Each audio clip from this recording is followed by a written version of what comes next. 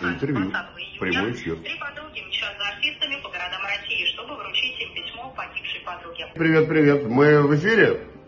Да, мы в прямом эфире. Мы в прямом эфире. О, офигительно. Всем привет! Сюжетная линия, она примерно проглядывается. Что еще ожидает зрителей? Скупая мужская слеза наверняка. Вот я вам серьезно говорю. Очень клево снято. На самом деле фильм мне очень понравился. Как писали сценарий? Потому что интересно, это все из жизни было. И Сценарий э, мы даже не читали, прикиньте. Мы знали только одно, что э, будет э, около 30 песен Иванушек. Практически такой музыкальный еще фильм. Мало того, что это комедия, трагикомедия, так это еще и музыкальный фильм. Я вот позавчера был на предпоказе и посмотрел, думал, какие молодцы все. Прям реальная история жизни. И реально такие поклонницы, конечно, были и, и, надеюсь, остаются, потому что, ну, а что, песни у нас хорошие, нам нравится. ну, то есть какая история вам вспоминается или запомнилась именно лично вам? Вот поклонница. Какой поступок, действие, э, эмоции? Наверное, все-таки подарки какие-то там дарили приятные, начиная от живого коня и заканчивая там золотыми обручальными кольцами. Все же, все же, большинство хотело выйти замуж, это очень забавно было, вот реально. По водосточным трубам лазили ко мне, сверху с крыши спускались в в квартиру на третий этаж.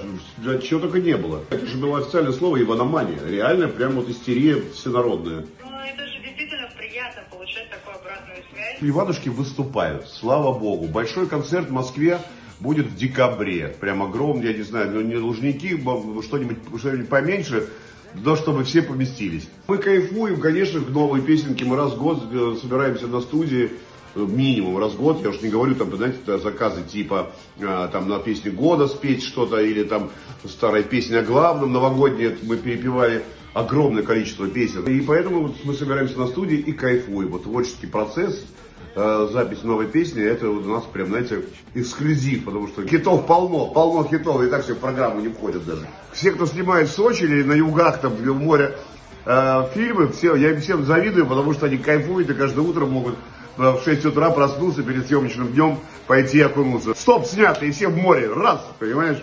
То есть не куда-нибудь, а в море нырять можно после съемки, каждый ежедневно. Первое слово, которое я сказал режиссеру после просмотра, прекрасно. Вот именно вот это вот такое смачное слово прекрасно. Вот именно так этот, та- такой фильм, прекрасный фильм. Вот. и душевный. Да. И пух, потому что, честно, весь июнь хожу и вижу Тополиный пух, в голове играет ваша песня, и хочется уже весь июнь. Мне кажется, времена чуть изменились. Экологическая ситуация в регионе. На самом деле объяснение простейшее.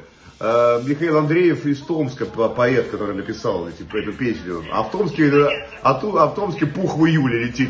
Причем он говорит, он говорит такими прям грязными серыми комями он по всему городу. Ужас какой, не рассказывай мне.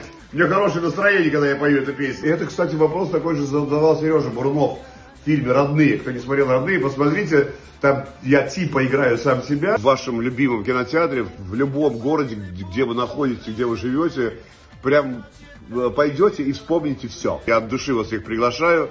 Как это? Все в кино. Как у песни Иванушек. Билетик кино. Маленький платочек, да, потому что скоро слезка капнет. Или, по крайней мере, навернется. Какие-то ситуации происходят в фильме, и песня идет саундтреком. Наши песни, они все соответствуют тому, что происходит э, на экране. Так что бегом в кино, и ты тоже. Это полное сопровождение. Договорились. Да. Приглашаем к нам. Потом прийти после премьеры уже. А, И вам побыстрее закончить работу и пойти домой смотреть. Ну. Давай, пока. Всем пока. Все в кино.